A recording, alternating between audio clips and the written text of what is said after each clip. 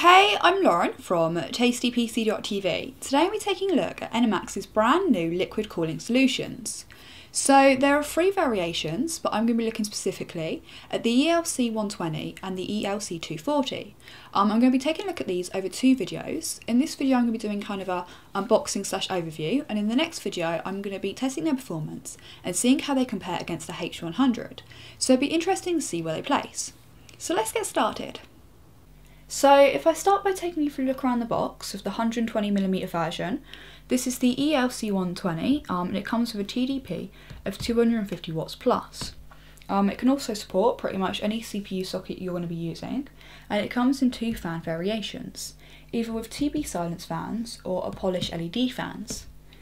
Turning the box on its side, um, we've got the package contents, the fact that it comes with a 2 year warranty, um, and the Enermax have worked with AVC to bring you this cooler. Taking a look at this side of the box, we've got some of the features highlighted. So Enermax say that it's got an easy install smart bracket, um, it's got three cooling modes, which I will talk to you about later, and then in my opinion, the most important feature, the cold plate design. So Enermax are using what they like to call the quad shunt channel cold plate, um, and this is supposed to increase heat transfer from the CPU while limiting hotspots, um, and this is what Enermax say makes this cooler superior to other all-in-one solutions available. Um, basically, with normal cold plate designs, um, the liquid moves in relatively straight lines across the CPU. However, with this design, it kind of like branches out, creating turbulence, which in theory helps with heat transfer. So, if I then show you the back of the box, um, if I just zoom you in a little bit. So here we've got the dimensions. The radiator is 32mm thick, and with a fan on each side, it's 82mm thick. Here we've got the performance graph. I'm not going to pay a lot of attention to this because I am going to be doing my own performance tests in my next video. Here we've got the specs of the cooler, and this is a good chance to pause if you want to get time to read them. Um, and then we've also got the specs of the two fans.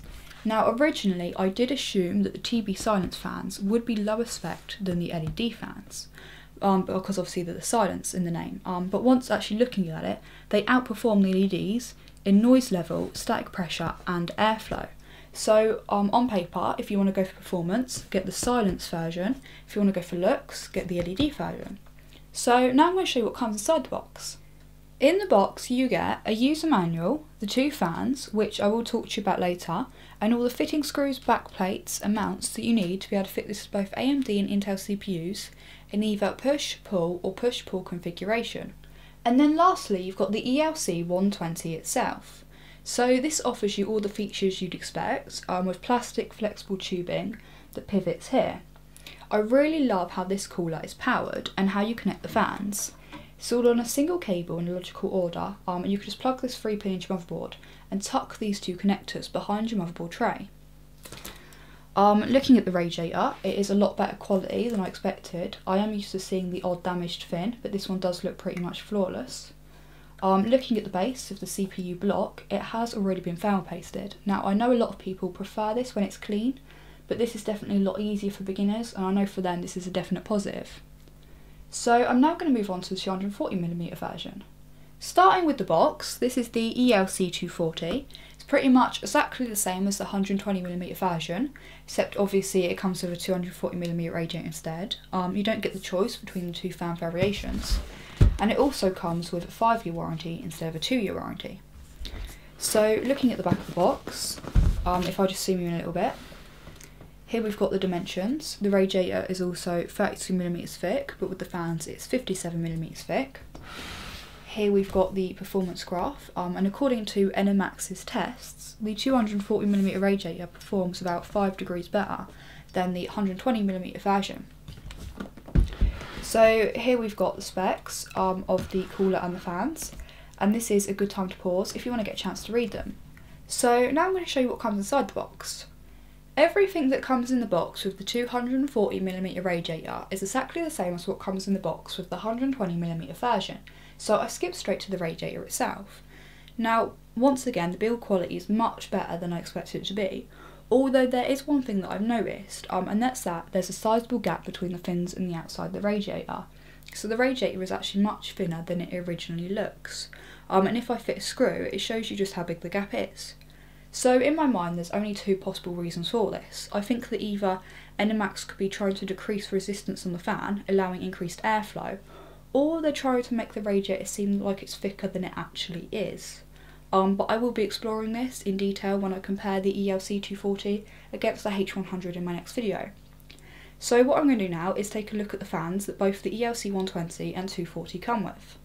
Taking a look at the included fans, these are the TB Silence ED1225 12H-PD. Um, and I have used fans from this series before and I have to say they were amazingly quiet.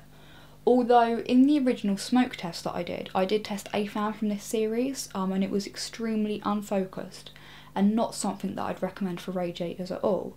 Um, and the problem that it had was that the Enermax cutout around the edge kind of confused the um, airflow concentration and although I know this is a different fan, it does have the same design um, which does concern me a little bit.